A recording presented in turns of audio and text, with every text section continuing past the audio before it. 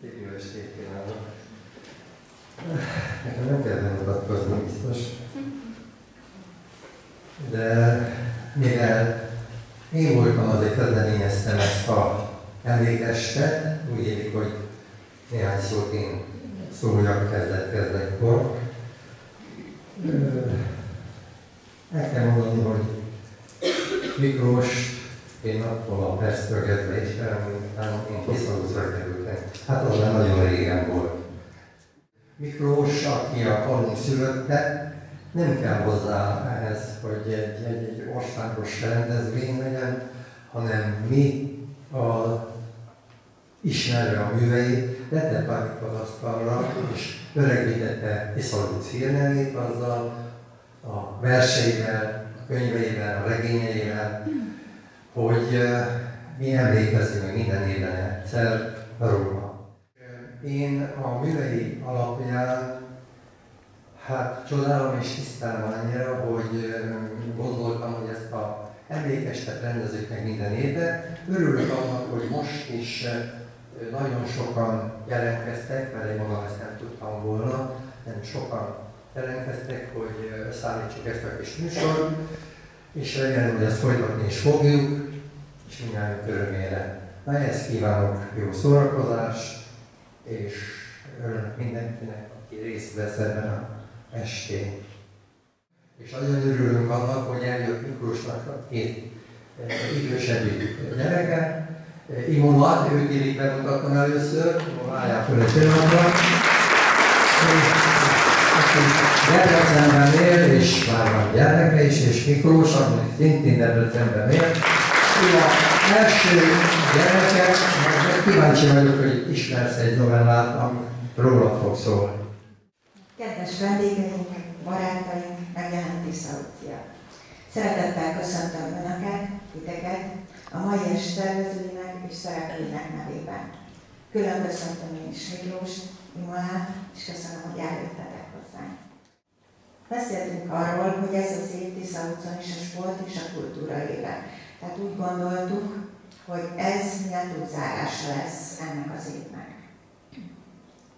A mai estén felidézünk néhány műve által Tisza út szülötte, díszpolgára, a színész, a nagyszerű író Tóth Máté Miklós alapját. A következő percekben hallgassuk meg Adi Endre egyik versét az ő előadásában. Hallgassuk figyelmet.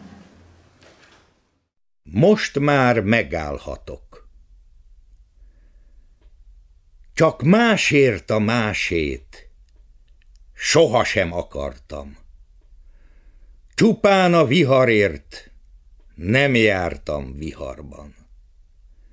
Becsületes szívem, becsületes jussát kerestem a harcban. Most már megállhatok. Már-már minden emlék, de mégis, ha újra, ha százszor születnék, a jussáért küzdő, lantos és parittyás, csak ugyanaz lennék. Régi küzdött harcok, silány kis bért hoztak. Igaztalan szájjal sokan megátkoztak. Hely, bús évek voltak, véresek, lihegők, s mégsem voltak rosszak. 1936. július 7-én született a helyi református lelkész és felesége első gyermekeknél. Mozgékony, eleven, a világra kíváncsi gyermek volt. Az iskola terhes kötelességet jelentett számára. A szabadságra, a tisztágra, a füzesre, a barátokra vágyott leginkább. Valami állandó nyugtalanság hajtotta. Így történhetett meg, hogy az okos és tehetséges fiú Sárospatak és Debrecen után Miskolcon érettségizett le. De voltak állandó pontok az életében. A szülei, a testvérei visszaközött. Több novellájában írt családjáról, barátairól, ismerőseiről, falujáról. Írásait áthatja a hit és a szeretet. Hallgassák meg Boldogok a tiszta szívűek című írását Domani Klára előadásában. Boldogok a tiszta szívűek. A Tiszalúci Református Parókián, a szülőházamban, anyám szobájában van egy kép. Aranyozott keretben, üveg alatt nagyított fotó, melyen talán egyesztendős lehetek, anyám és apám között ülve bámulok a világba. A kép belső sarkában, az üveg alá préselten, barna hajtincs, rózsaszín szalaggal átkötve. Hét éves korában meghalt hugom hajtincse. Anyám tette oda, és immár több évtizede emlékeztet egy valaha élt kislányra. Két évvel volt fiatalabb nálam, de úgy emlékszem, érettebb, felnőttebb már akkor is, mint aki érezte a nagyon szűkre mért időt. Nyitott csigolyával született, és bár apámék mindent megtettek gyógyulása érdekében, a legjobb fővárosi orvos specialistákhoz vitték, nem lehetett segíteni rajta. Édesanyjával odaadóan szerették egymást. Ez, szeretet, ez szeretetet őrzi az Anyám könyve című regénye és jó néhány verse. Hallgassuk most meg, ezek, hallgassunk most meg ezek közül egyet Lantus Tímea előadásában.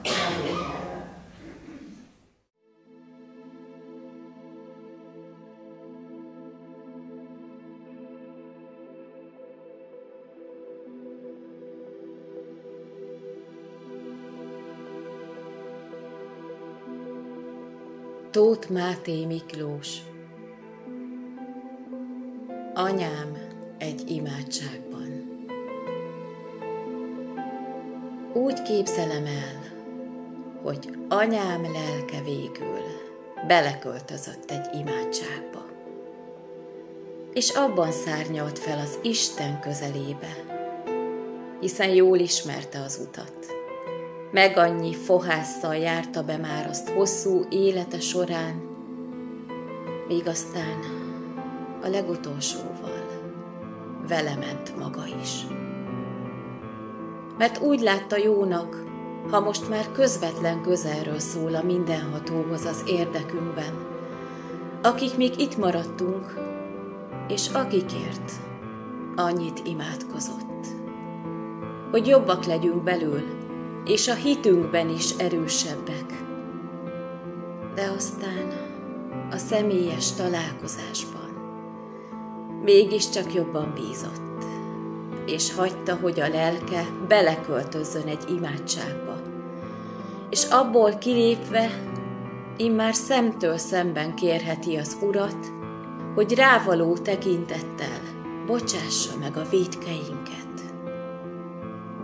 És legyen majd könyörületes hozzánk, ha felettünk is ítélkezni fog, amikor mi is a színe elé járulunk. A múlt időben című könyve Tisza a Luci emberekről szól. Akkori életeket, idősöktől hallott történeteket írt meg, hol mókásan, hol szomorúsággal. Egyik novellájában gyerekkori barátjának, Batári Bényinek állít emléket. Ezt halljuk most Bertányi felolvasásában. Béni. Batári Bényék egy régi paticsfalú nátetős házban laktak a Hustáton. Az alvéget, vagy alsó utcot nevezték így még gyerekkoromban, de ennek az elnevezésnek az eredetét máig homály felé. Annyit azonban megkockáztatok, hogy az ott élők, kevés kivételtől eltekintve, nem húsos, inkább hústalan ételeken engedték napjaikat. Ha hús került asztalukra, az már ünnepnek számított, meg annyi krumpli, puliszka, meg lebencs után. Az időtájt már ott laktak a parókiával szomszédos iskola tanítói lakásában. Az iskola kezdetben a reformátusoké volt, aztán államosították, de a lakást meghagyták az egyháznak a mindenkori táncol Így költözhettek oda béniék is, apám, apa és a presbitérium jóváhagyásával, ami nagy segítséget jelentett számukra. Apám írta meg a halálhírét. Bélcsavarodással szállították a Miskolci kórházba, megoperálták, de már nem lehetett rajta segíteni. Később tudtam meg, hogy amíg eszméleténél volt, könyörgött az orvosoknak, mentsék meg, mert neki még három gyermekről kell gondoskodnia. Akkor már a családjára gondolt, semmi másra. Mindig szívesen időzött szülőföldjén az itteni emberek között. Író-olvasó találkozók, bálok, rendezvények. Hazajöttem, mondta ilyenkor. A következő felvételen egy vöröskeresztes jótékonysági bálon készült, itt Tiszalkucon. Ezt nézzük most meg. Ennyit, kedves barátaim, és most engedjétek meg, itt írtam én egy kis verset, délelőtt leteszem ezt a pesgőt, különben se szeretem a pesgőt, pláne, hogyha viszki van. De hát úgy élünk, tudjátok, hogy pesgővel köszöntjük egymást. Nos, ezt a kis verset követtem el itt délelőtt, fogadjátok szeretettel, és legyen ez a tulajdonképpeni pohár köszönt. Pál és bár, bál és pál. Ez a kettő már régen összejött. Így volt tavaly, tavaly előtt. És lám az idén is áll a bál. Barátaim táncra fel, egyetek, igyatok kedvetekre. Nótázzátok magatok reketre, amíg a visszhang ráfelel. Mert jó ez most, kell a vitásság. Az élet rideg és nagyon hamis. Ezt érzem naponta magam is. Köröttünk polgárjogot nyert az álság. De amíg hinni merünk a jóval, és tudunk ember, barátul szólni, addig a tisztességnek, addig a tisztességünk sem talmi, és az emberségünk sincs leáldozóban. Ezt vigyük hát útravaló a bál utáni hétköznapokra, ez legyen balzsam bajra, gondra, és tartsuk be maradéktalan. Köszönöm. A következő történetben a rendszerváltás előtti falusi életet jeleníti meg. Hősei egyszerű, mindennapi emberek, akikkel valami rendkívüli dolog történik. Lehet, hogy ebben a novellában is ott van Tiszalúc? Biztosan. Pintéri Áron előadásában hallgassuk meg történetet. Irodalom receptre. Török doktor az egyetem elvégzése után nagy ambícióval utazott le mezőcsanálosra. Nem csak az egészségügy, de a kultúra területén is szeretett volna eredményeket elérni. Ez azonban az első időben sehogy sem sikerült. Hiába ragadott meg minden alkalmat, még a legkisebb holtidőt is, például egy sebkötözést.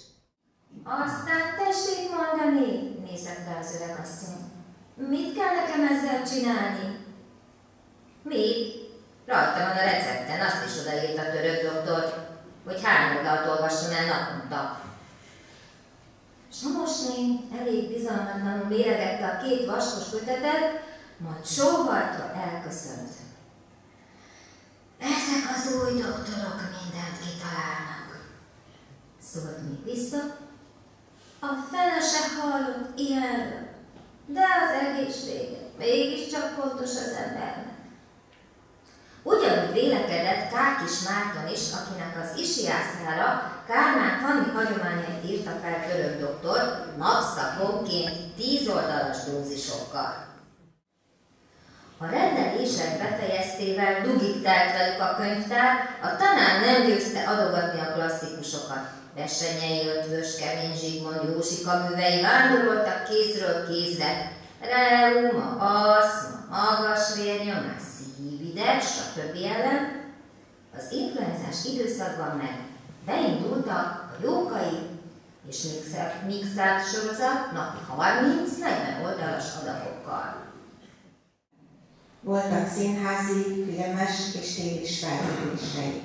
Megnősült, lánya született, majd elvált. És egy idő után már nem érezte jól magát a színész környezetben. Ekkor kezdett el írni. Főleg elbeszéléseket, novellákat, amelyekben elnéző kritikával, ironikus hangvétellel figuráztati saját magát és kortársait. Ezek közül hallgassunk meg most néhány novella részletet. Először a Papja című novelláját fogjuk meghallgatni a János előadásában. A papfia. Ha egy gyereknek pap az apja, akkor a gyerek nyilvánvalóan a papfiú. Papfiú, vagy egy másik gúnyos kötekerű oda kiabálása szerint papmacska. Igaz, ezt a papmacskát, mely eredetiben gusztustalan szőrös hernyó, így igyekeztem megtolni, és sikerült is, ha a srác lassabban futott, mint én. De különleges helyzetemen ez mit sem változtatott, inkább rontott. Mert ha verekedni láttak a felnőttek, már summázták is az elítélő véleményt. Na, nézd már, még a papfia is. Na csak tudja meg az apja.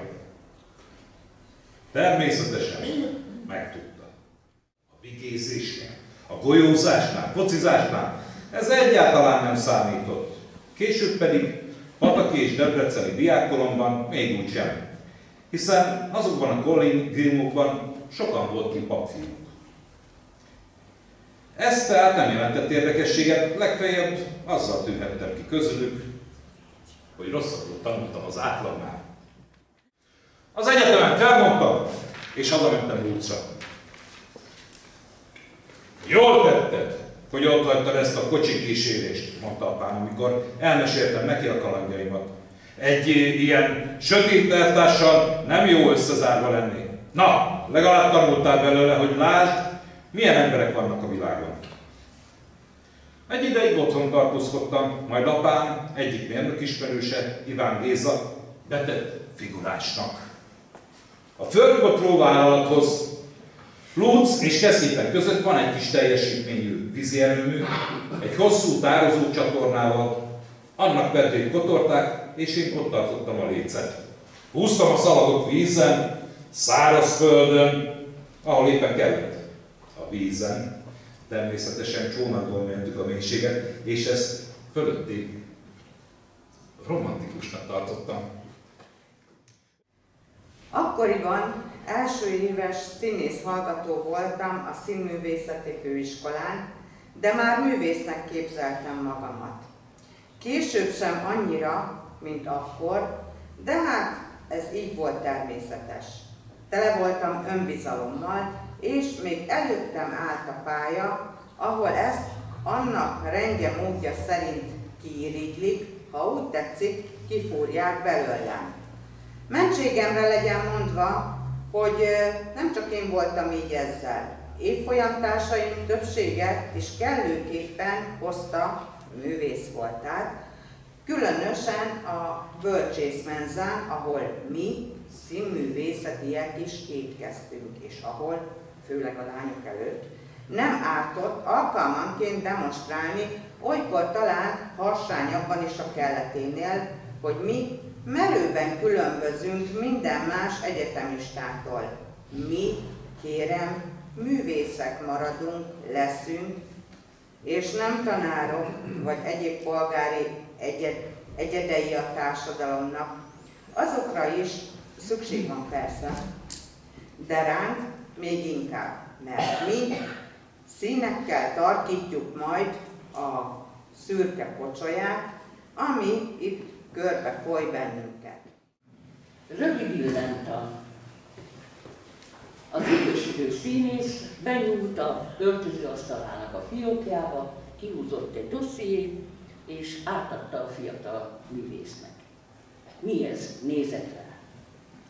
Ez kérlek a törstaki féle rövid színész illentan, vagy ha úgy jobban tetszik, egy tapasztalt öreg komédiás elmélkedéseit az arra érdemes fiatalabb pályatársak populására. Böngészd át figyelmesen, és próbál megkövetni. Úgy lesz, mondta a fiatalember. Előadás után végighevert otthon a heverőjén, nekiugrasztatta kíváncsi tekintetét a betűknek. Rövid színész illettem. Ah, rövid. Ez azért túlzás, gondolta a fiatalember, míg hátra lapozott az utolsó, a 84. oldalra. Nézzük hát sorjában.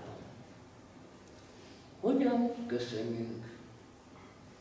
A jó színész, színésznő mindig tudja, kinek hogyan kell köszönni, és ezt még álmában sem kerül össze.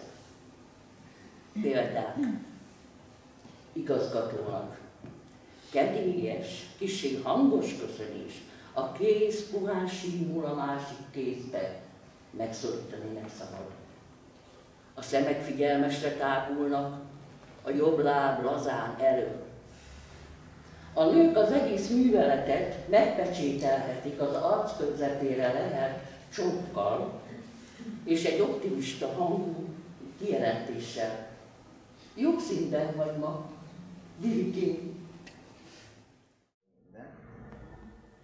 És itt elvárnák viszont az, hogy a színész, az író, az énekes, az menjen csak úgy gratis. Tehát, hogy hogy mondjam, még mindig a, és itt jelentkezik épp, talán ö, valamelyik nap mondtam épp ezt ö, valakinek, hogy még mindig a, a művész az, aki gratis.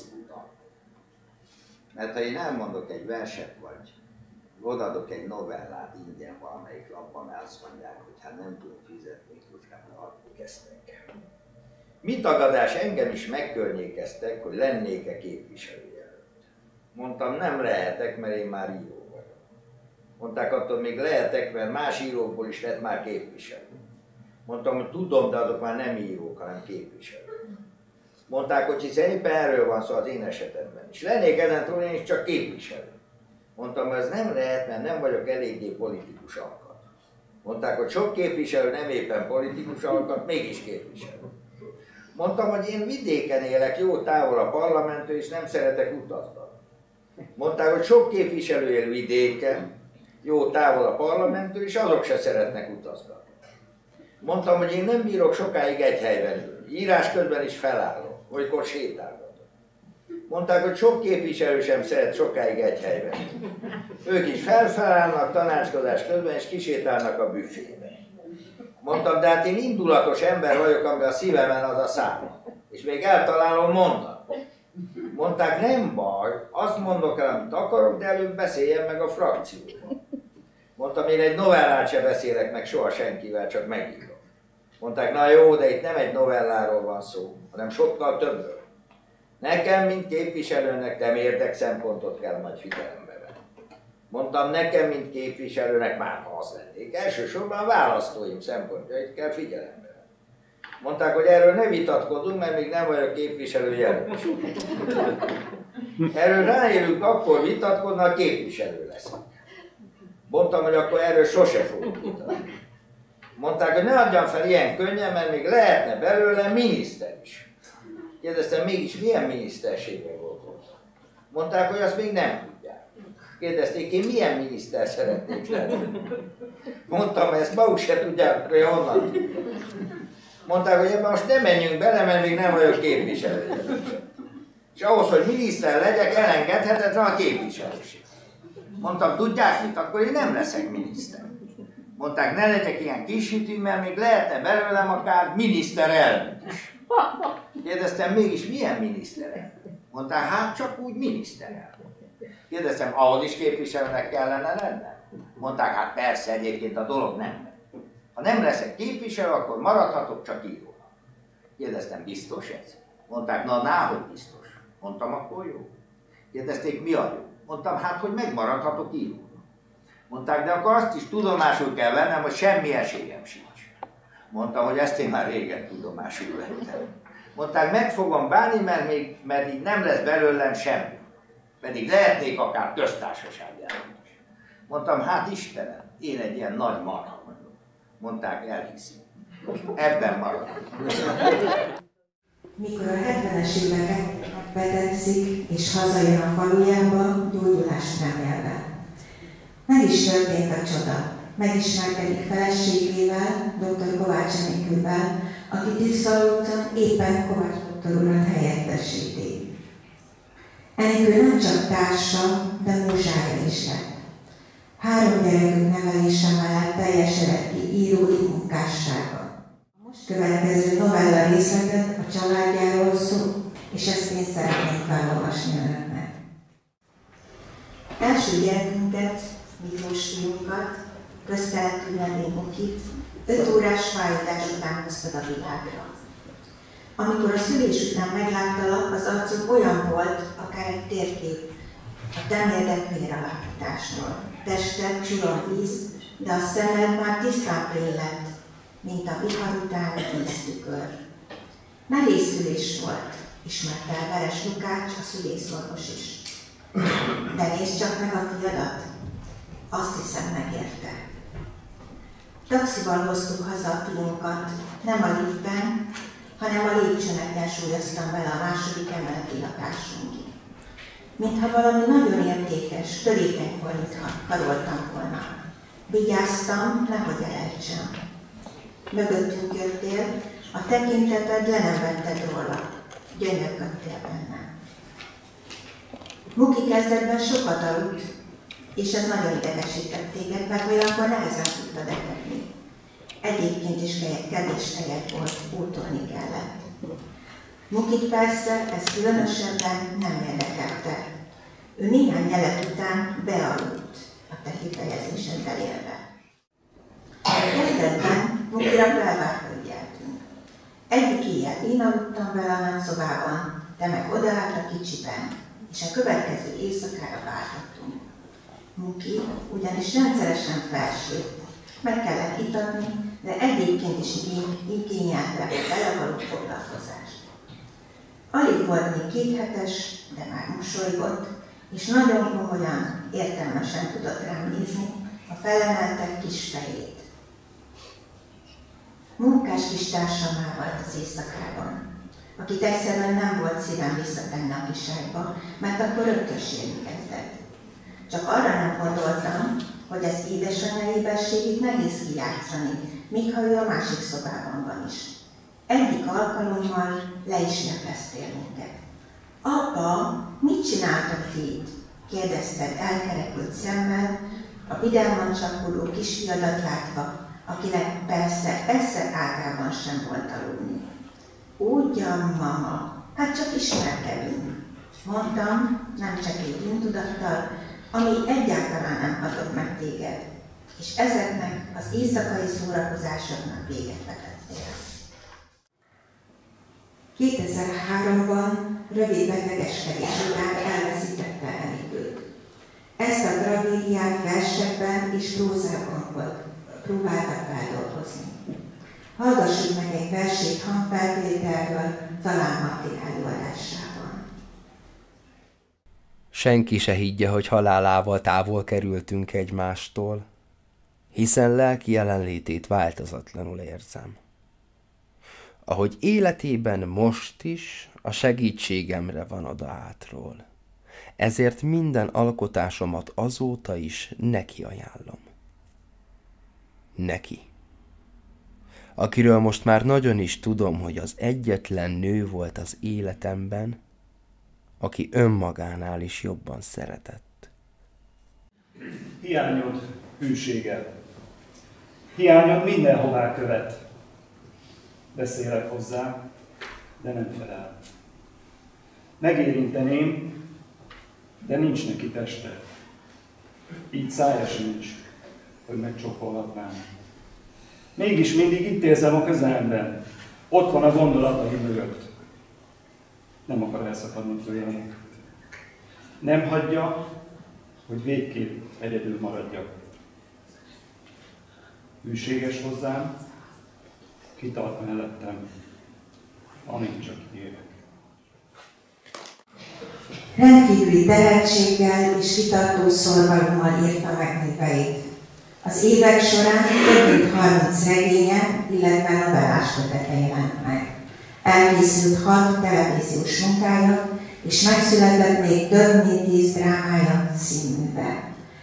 A következőkben nézzünk meg egy rövid részletet a Két nap az Akácosban című művéből. Figyelem, figyelem! Értesítjük a község lakosságát, hogy holnap, január 1-én este 8 órai kezdettel díszbemutató lesz a községi filmszínházban. Bemutatják a Két nap az Akácosban című új magyar filmet, amit a nyár folyamán a községünkben forgattak. A bemutatón itt lesznek a film főszereplői, a rendező és az operatőr. A vetítés után vitát tartanak a filmről. Figyelem, figyelem! Mindenkit szeretettel hív és vár a rendezőség. Szép jó estét kívánok! Jó estét! Inkább az embernek, mert még lehet.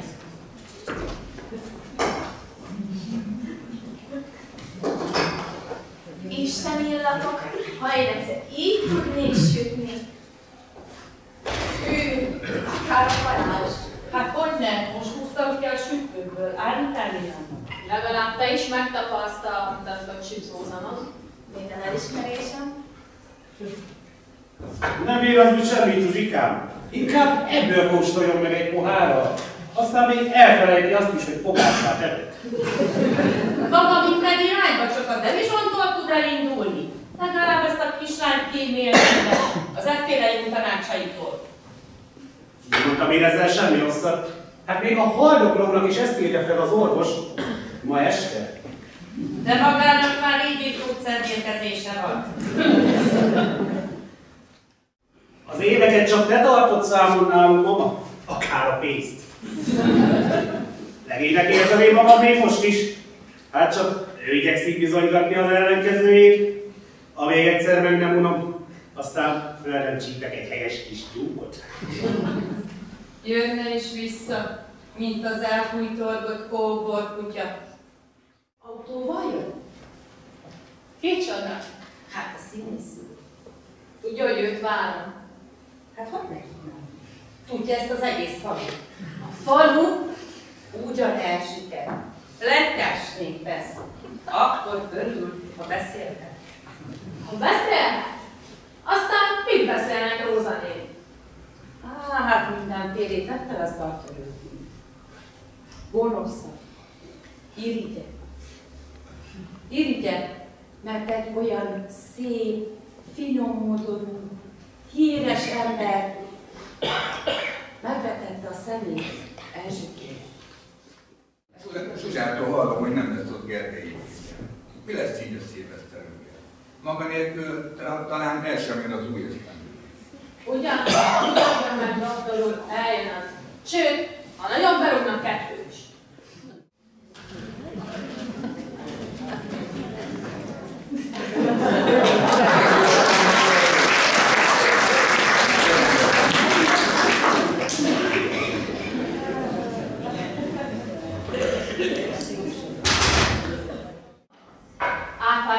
bocsásson meg, ki kell mennem elébe. Jövök, egy pillanat, bocsásson meg.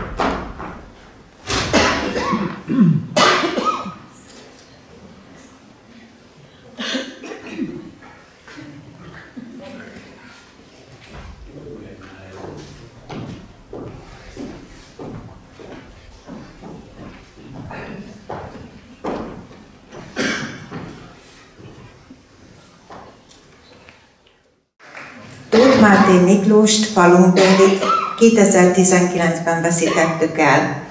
Lelke hazatért teremtőjéhez. Emlékét örökké megőrizzük, és továbbadjuk gyermekeinknek.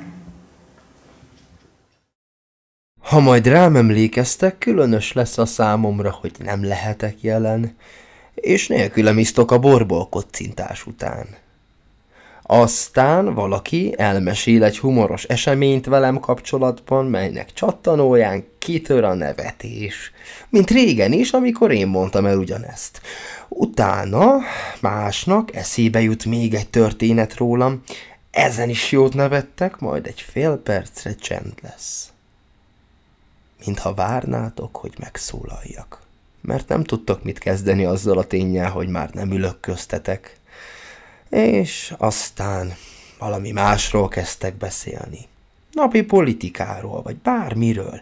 Közben telik az idő, egyre jobban érzitek magatokat, még nótázni is kedvetek támad, és amikor szétszéled a társaság, csak egymástól köszöntök el.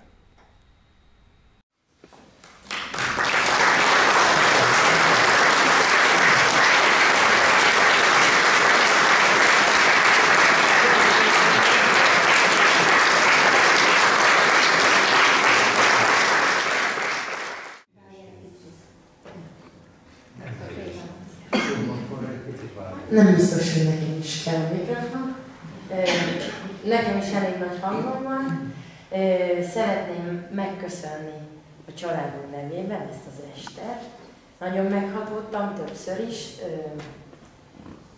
Hát nagyon, nagyon sok családról és Tiszaúszról szóló műve van édesapámnak, ami, amit nem tudunk elvonatkoztatni, és én mindig elsírom magam egy-két novelláján, amit ma is hallhattunk meg a versenyt. Én úgy gondolom, hogy odafentről ő is velünk volt, érzem őt itt lélekben, és, és ő is gratulált volna minden egyes szereplőnek. Szerintem fantasztikusak voltatok, voltak.